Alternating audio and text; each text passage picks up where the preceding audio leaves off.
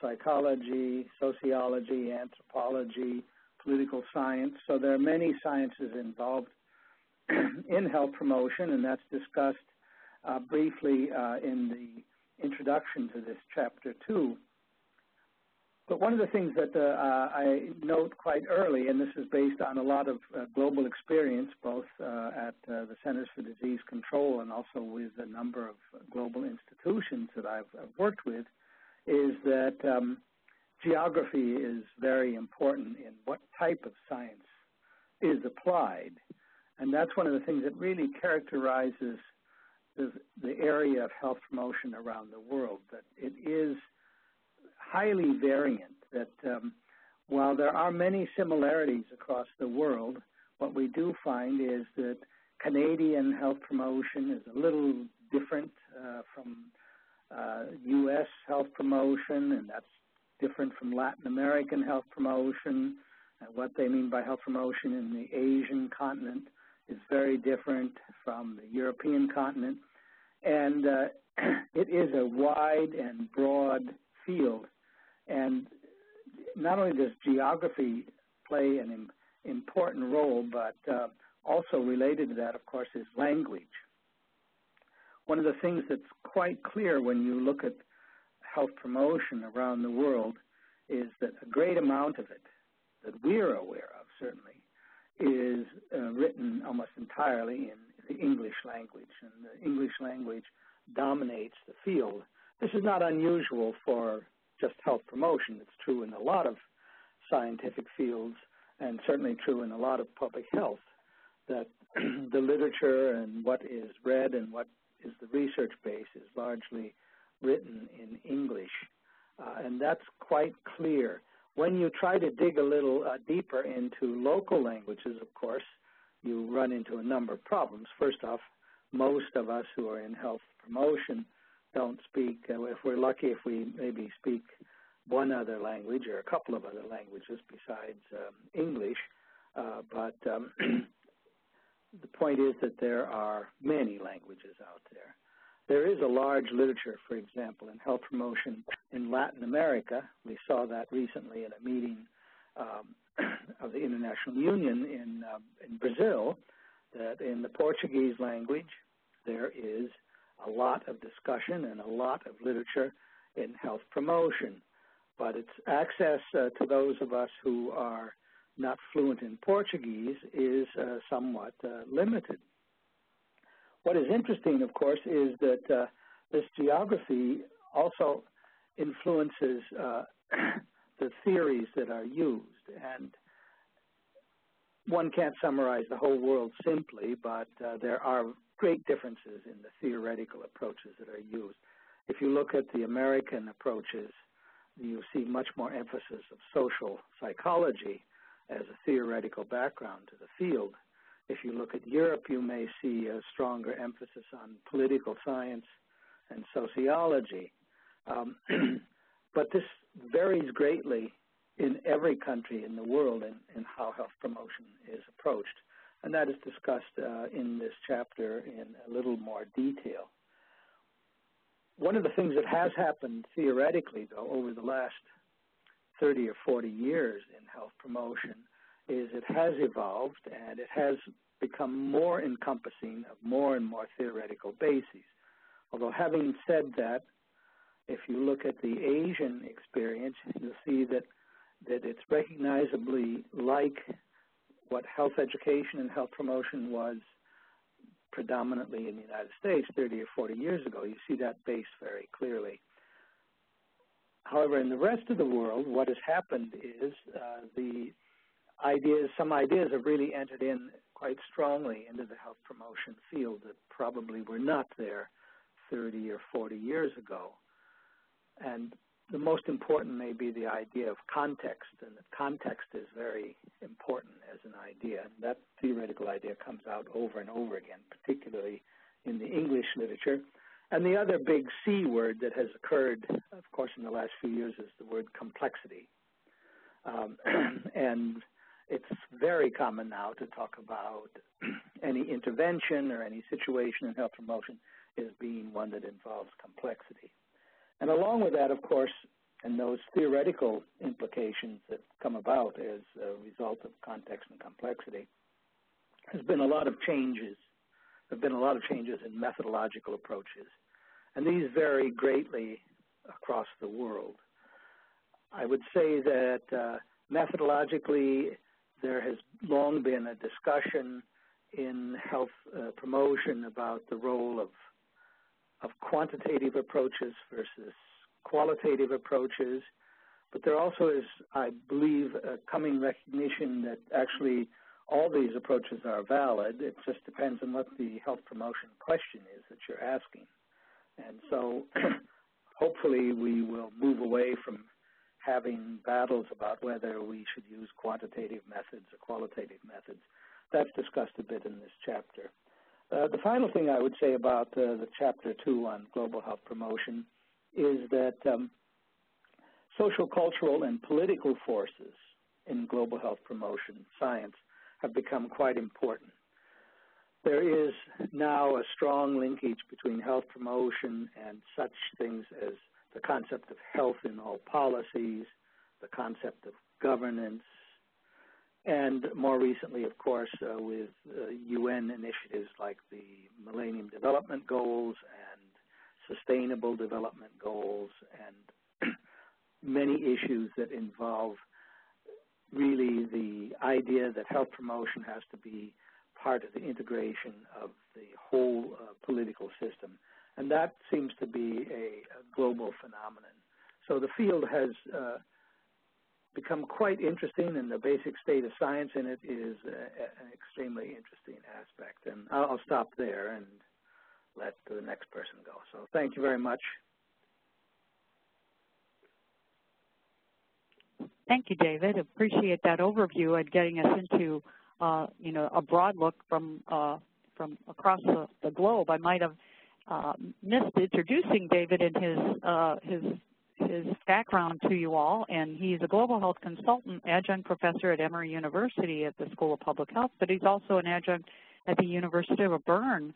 So he is uh, an editor-in-chief of Oxford, Oxford Bibliographies in Public Health. So he has, comes from, uh, I know, former uh, primary uh, lead for CDC um, at uh, uh, for global health, and so you are really hearing from an expert who's worked around the world um, in global health promotion and giving that great overview. So thank you very much.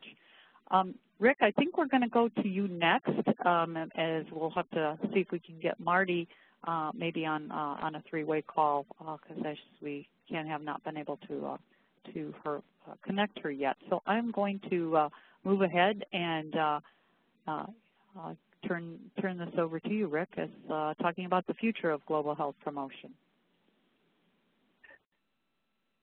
Well, thanks very much. Um, can you hear me? Yes, we can. Okay, good. Uh, first thing I want to say is uh, uh, a, a, quick thanks to Elaine and SOPHE for, uh, uh, it seems like 10 years ago, but it was only uh, less than two years ago, inviting us to, to work on this book collaboratively. And uh, and to David for his contribution. Uh, and David, I think this is the closest you and I have been to actually meeting each other, so nice to meet you. And uh, and Marty when she gets on as well.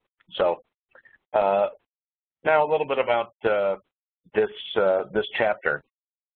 Um, um, John Andrus, who couldn't join us today, wrote wrote the part of the chapter about uh, a variety of issues that, that he thinks needs to be uh, uh, con continued to be thought about, uh, including uh, uh, neglected tropical diseases. and I, I wrote a bit about broader, and in the context of what David was talking about, um, American theories still tend to be fairly individual and social psychological and and so really encouraging folks to to be more more broad in their theories that that uh, uh include community, neighborhood, uh, and ultimately political, cultural, and societal factors. Even though I've dialed in, I can't be heard. Hi, Marty. We can hear you now. You can. Okay. I'm coming off Sorry. the phone. Great. Okay. Okay. All right. Sorry, Rick. Sorry. Sorry, Rick. Oh, it's okay. Glad glad you're you're able to get in there. Okay, thanks. Go ahead. And I guess I guess this table is probably uh, busier than you're supposed to do in a table. Uh, so so forgive me for that. Uh, I guess I guess the academic part of me uh, showing through.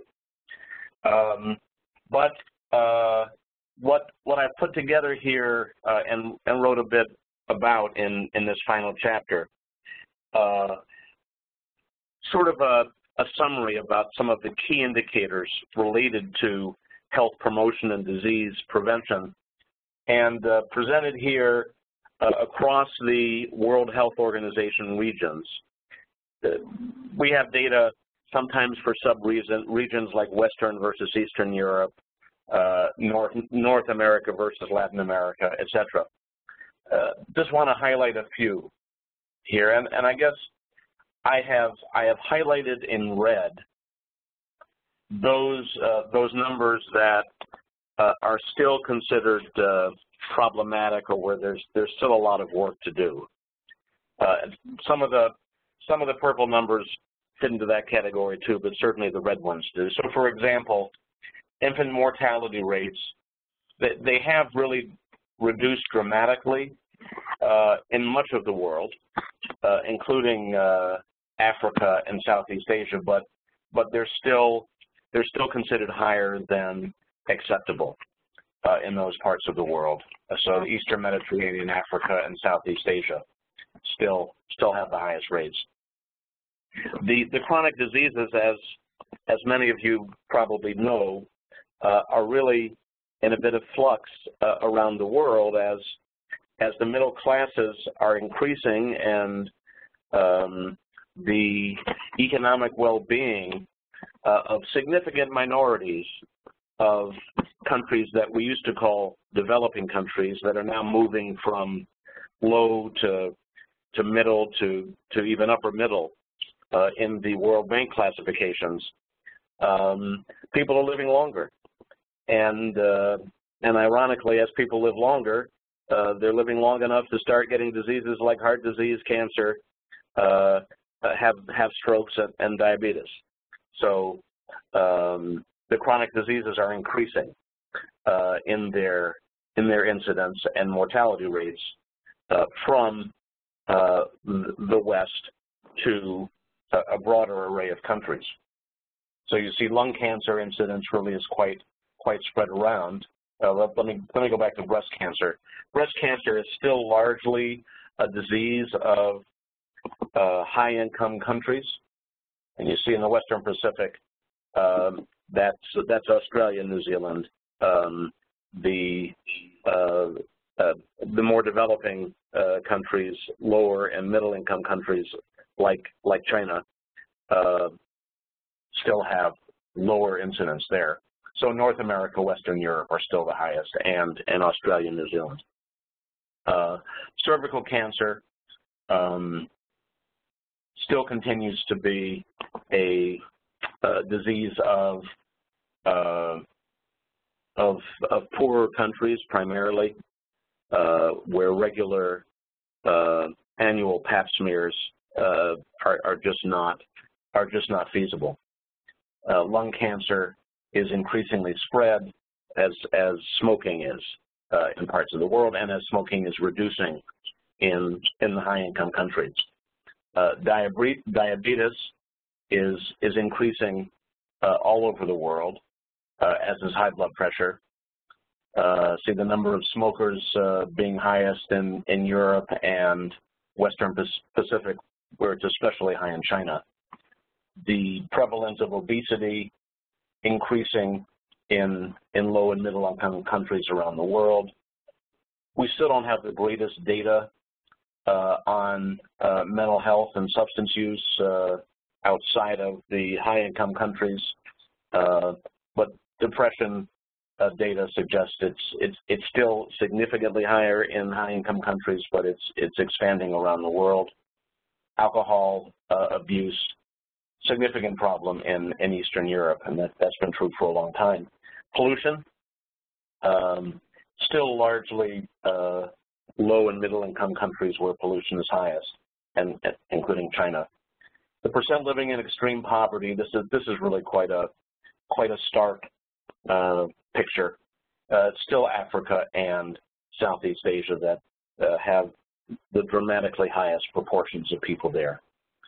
Uh, the literacy rate, rate for females is um, still lowest in Africa and Southeast Asia and, and followed by the Eastern Mediterranean. A couple of other contextual uh, and social determinants variables that I brought in here. The Human Rights Risk Index, uh, these are the percentage um, of countries in that region that are labeled as higher extreme risk, Latin America, Eastern Europe, Africa.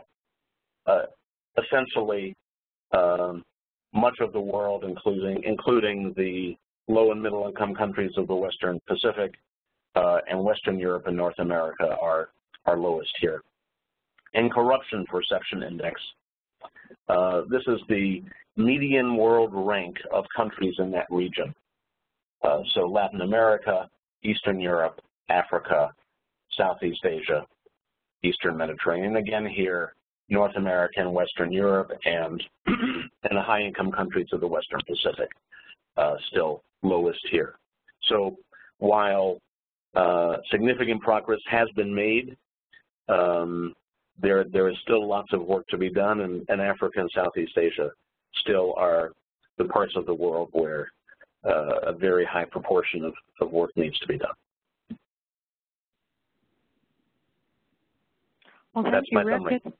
Thank you, Rick. Thank, that's jumping from the overview of the book at the front end, or global health promotion as a concept, to where we are at looking at the future, or maybe current status, and where we we we would need to aim our efforts as uh, health promotion professionals to uh, to address these issues. What parts of the world, and I know there are many students out there in global health today that are looking to make a difference, uh, and in many of these countries that um, have uh, the worst health indicators, as you've pointed out. So thank you, and I know we'll have a chance to ask a, a, few questions here of both David and, and Rick um, in a minute, and we're glad to have uh, uh, Marty Rice uh, join us, and we'll back up a little bit for an overview of the, the chapter that, if I could get it right here, the overview of Chapter 10, uh, which uh, we talked a little bit about the non-communicable diseases, but now we'll talk here uh, particularly on uh, immunization campaigns and how that related to uh, the communicable diseases in global health.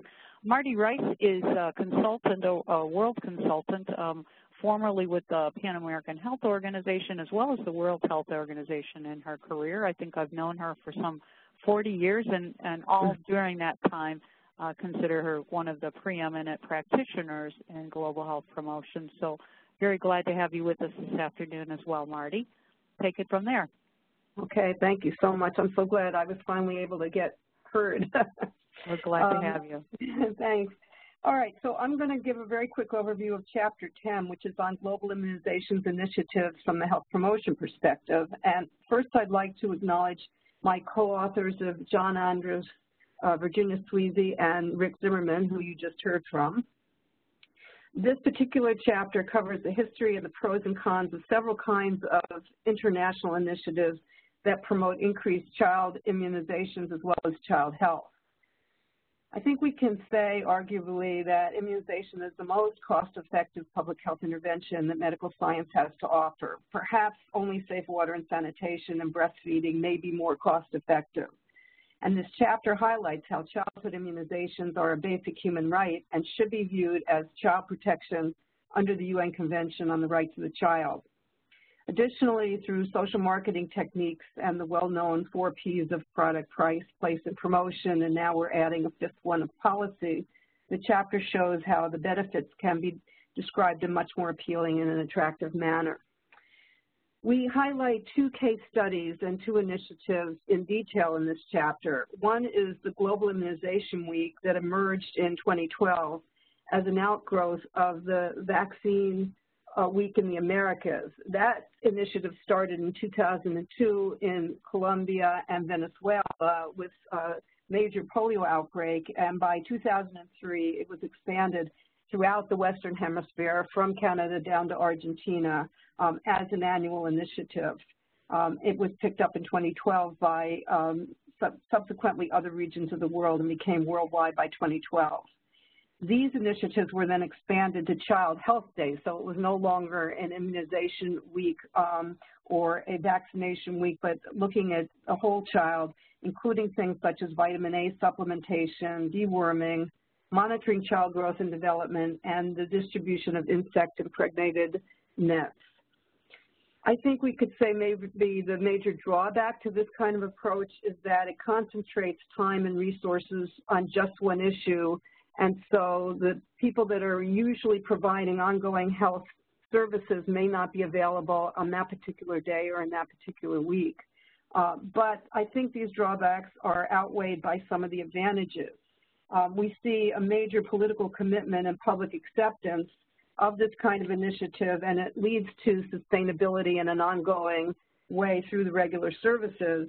Um, and also by strengthening healthy municipalities and communities in healthy settings, it creates solidarity to reach a common goal for focusing all of the activities um, and the surveillance um, together in a coordinated manner. So we see that just having one week per year has a really, really high impact. The other case study uh, in the chapter is focused on the Global Polio Eradication Initiative that was started in 1988, and it created new partnerships at international, national, and local levels and across organizations and sectors. So we see like UN agencies such as WHO and UNICEF collaborating with foundations such as Gates, together with national organizations such as CDC and USAID from the US, Norway, Denmark, Japan, and the UK. And, and all of these come together to work collaboratively. And we see in this chapter that we get a particularly detailed case study from the Americas and Southeast Asia, the latter being the fourth region in the world to eradicate polio in 2014. The chapter also focuses on the 5-in-1 pentavalent vaccine where it combines childhood immunizations for diphtheria, tetanus, whooping cough, Hep B, and influenza type B, um, all into one uh, vaccine. And essentially it adds Hep B and Hib vaccines to the traditional uh, diphtheria, pertussis, whooping cough, tetanus combination. Uh, and the, the, latter has been used internationally for many years. So we see that making this combined effort, um, especially in lower income countries, has been able to reduce costs, uh, reduce the need for personnel, and the number of visits required by children and their parents to complete their immunizations. And in, in developing countries, getting to immunization um, has been especially problematic. So being able to reduce it to just a few visits has had a major impact in terms of ensuring uh, that children are adequately vaccinated. Another thing that the chapter focuses on is on the HPV vaccine, which is a vaccine that's been developed to reduce cervical cancer in women. Uh, and, and, it's been particularly challenging because unlike with infants and children, this vaccine focuses on girls, which, um, you know, girls are much more independent in terms of their own decision making than the younger ones, but also because um, cervical cancer and HPV uh, prevention is related to sex, and there's a lot of resistance to talking about sex and, and dealing with anything related to sex. So what we've learned from this initiative and, and what's been helpful in increasing the uptake of the HPV vaccine has been that when national governments make immunization, and particularly HPV, as a mandatory and routine vaccine, uh, and when it's free, then uh, it's much more accessible and it's much more utilized. Also, uptake was increased by working through schools and community outreach, uh, and also when the strategies were tailored to local norms and local needs, which is obviously a very well-known um, health education, health promotion strategy. Um, finally, the chapter focuses on family vaccination cards and child health records. Um, these are uh, paper or cardboard records that provide critical information on the child, both to the healthcare workers and it serves as a way to remind the family when they need to go back for visits. So this has been a final tool that the chapter talks about that's been very effective in helping with childhood immunizations and child health. At the end of the chapter, readers are challenged to identify ways that these types of public health approaches can best be applied to their own context and how policies and programs can be strengthened to provide continual support to these initiatives. So we end the chapter with really trying to get people to think about how this applies to their own context and what they would do differently or in addition to whatever they're doing uh, to apply some of these strategies. Thank you.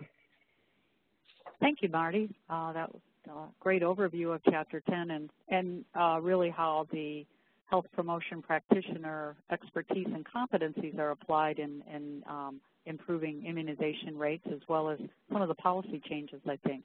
Um, we hope everybody um, will now be typing in their questions for our three um, uh, panelists this afternoon. We'd like to hear from you and any questions that you might have for them.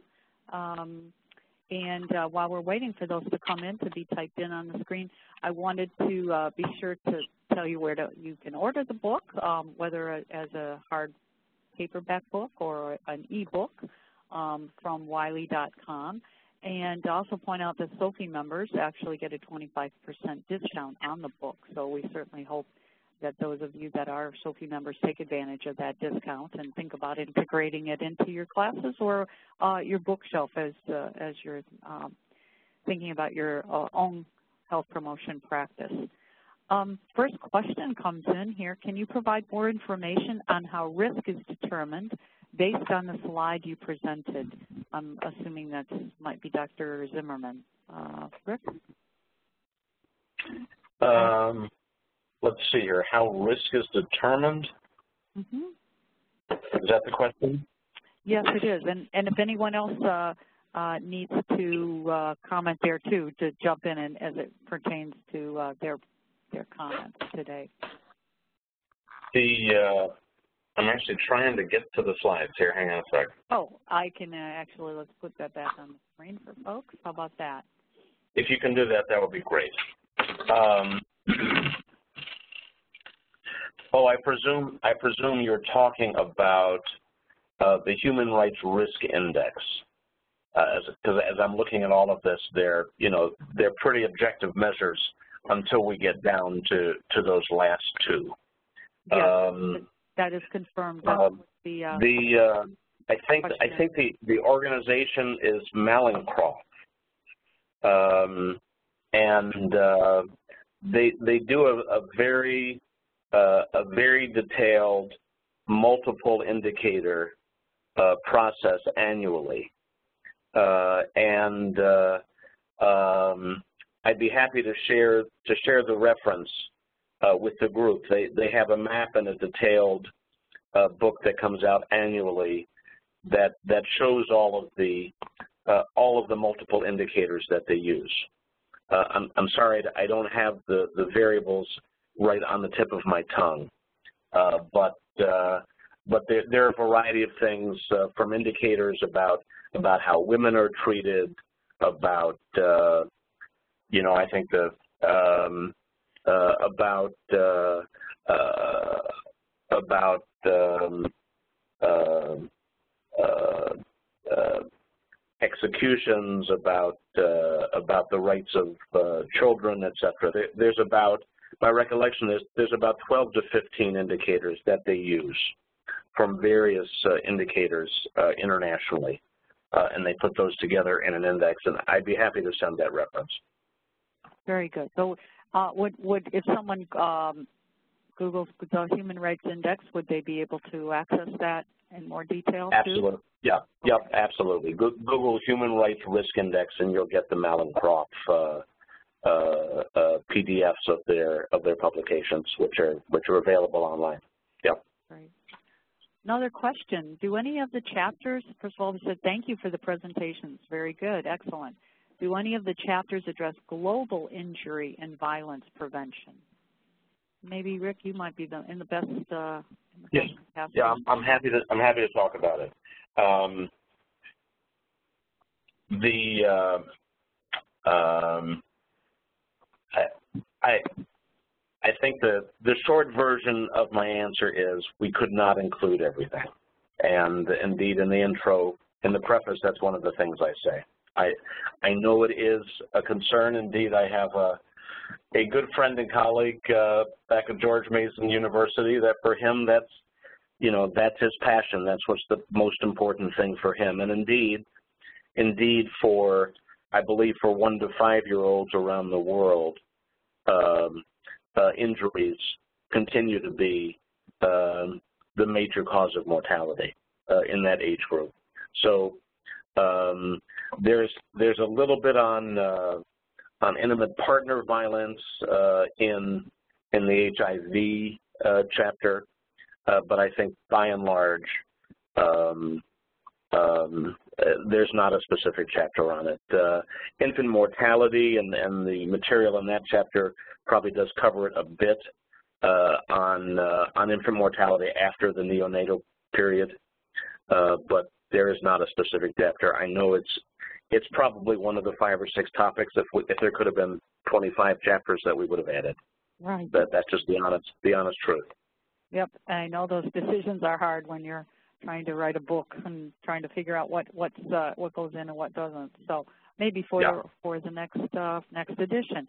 Um, another sure. question, um, will I get a free copy, desk copy of the book if I plan to adopt the book for my course? Yes, you will. You will be able to. You actually can request um, that from uh, Wiley, and you can request to look at the collaterals as a faculty member if you're thinking of adopting it for your course, uh, for your classes. And I wanted to um, maybe jump off that and ask if any of the three, uh, all of you three, to comment. And um, since we do have a number of faculty here today, um, any thoughts about uh, ways that they might be able to, uh, in particular, uh, think of exercises within class within the class. Um, we don't provide a comprehensive syllabus or anything um, in terms of uh, in terms of student um, actual uh, activities uh, or an application of the content. But any ideas that you might have on how faculty members might uh, be in, use your chapters as jumping off points for um, our particular exercises with students. So, uh, well, you know, uh, yeah. oh, I'm sorry. Oh, go, yeah, go ahead. I can uh, comment. Uh, I think, for example, with the global, one of the jumping off points is quite clear that if you have a topic you're interested in, take a look at it internationally and how it's treated in um, other other countries to the extent you can. Uh, if you have people, of course, who read other languages in your class, it might be interesting for them. Say you have uh, Chinese students in your class or something like that, to ask them to look at the literature uh, relevant to the topic area that they can read.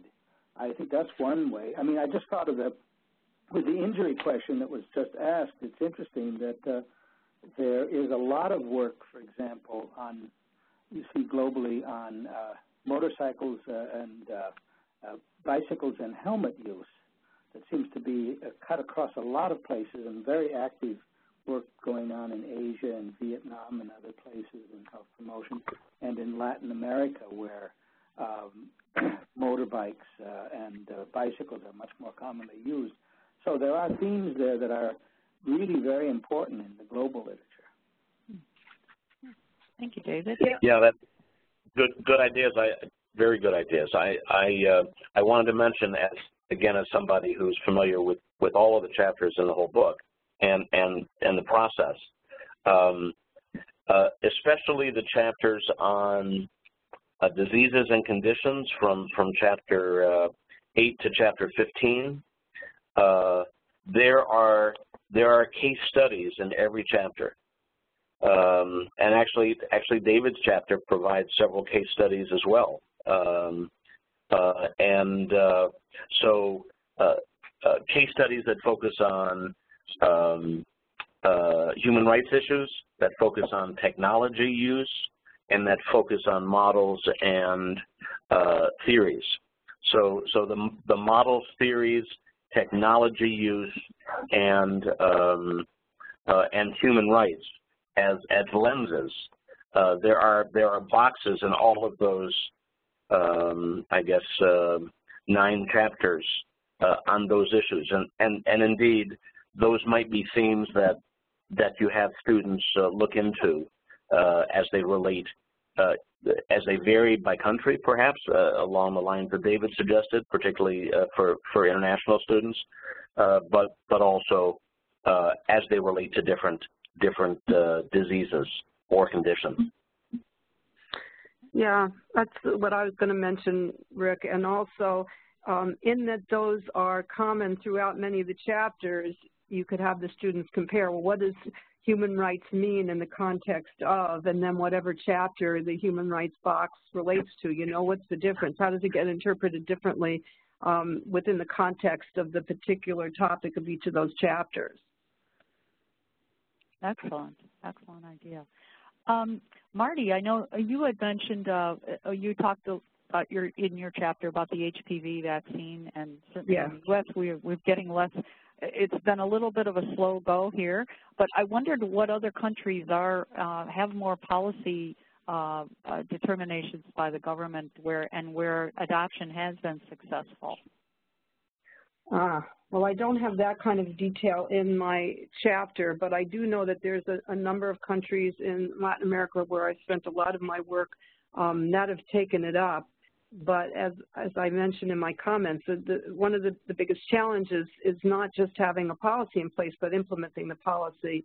Um, and um, not just with the HPV vaccine, but just reproductive health in general and contraception and anything that relates to anything that might smack of, of sex um, has been very difficult in countries where there's a strong religious um, hand. In Latin America, it's um, it's the church and other parts of the world it, it might be you know a different religion but um, I think what what's been most successful just generally without mentioning particular countries is first and foremost to have a, a, policy which then creates the facility to have the vaccine available but also to work at the local level through schools through community groups to say okay this is something um, that we're trying to prevent. We're not encouraging sexual activity. We're trying to in fact have this um, vaccine administered before young ladies become sexually active. Um, and eventually, if you want her to get married and have a family, she will become sexually active. And so it's by no means encouraging anything, but within the context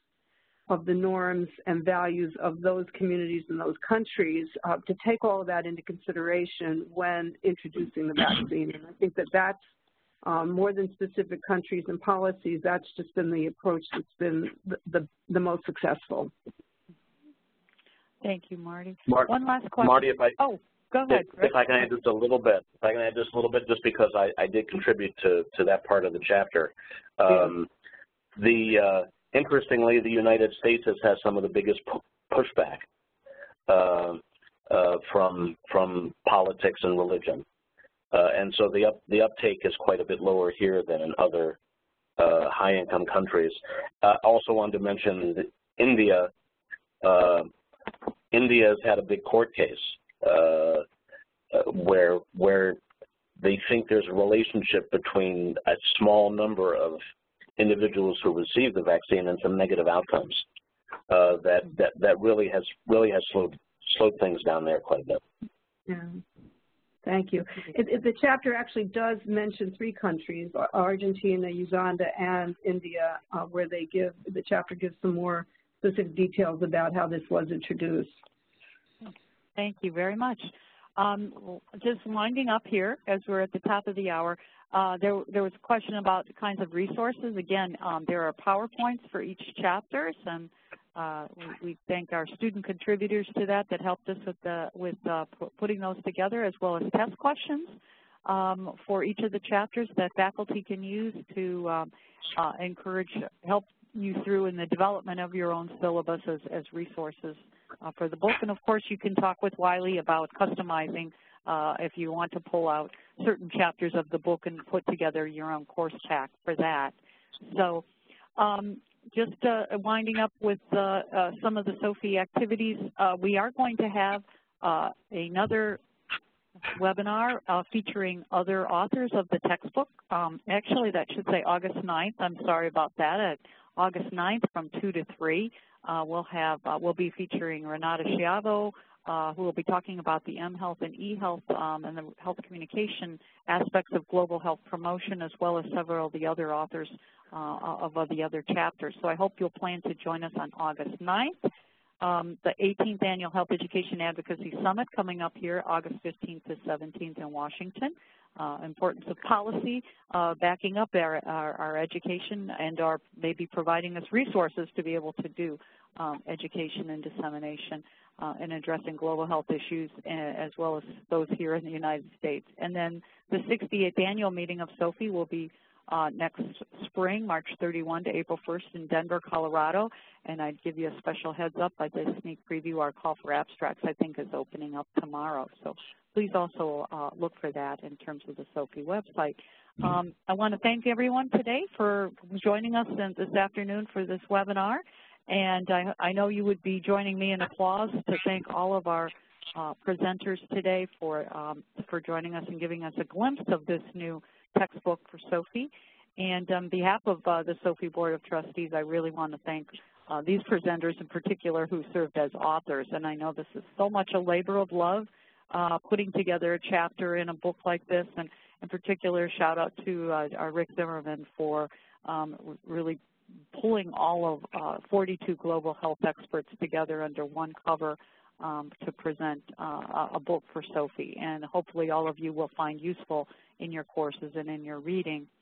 Um, again, for those who haven't been able to participate today, you'll be able to download the, uh, the recording in two weeks, and we hope that you will complete the, the feedback form um, after today's webinar. Uh, this concludes today's event, and um, we uh, thank you again for joining us, and please have a good day. Thanks, Elaine. Thank you. Thank you. Thanks, Marty and David. Thank you, Rick. All right. Bye. Bye-bye.